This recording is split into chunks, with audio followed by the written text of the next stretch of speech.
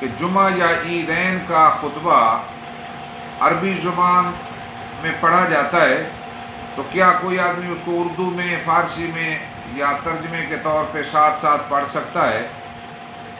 तो इसका जवाब यह है कि अरबी ज़ुबान में ही दौर नबी से लेकर आज तक खुतबा मुतवारस चला आ रहा है।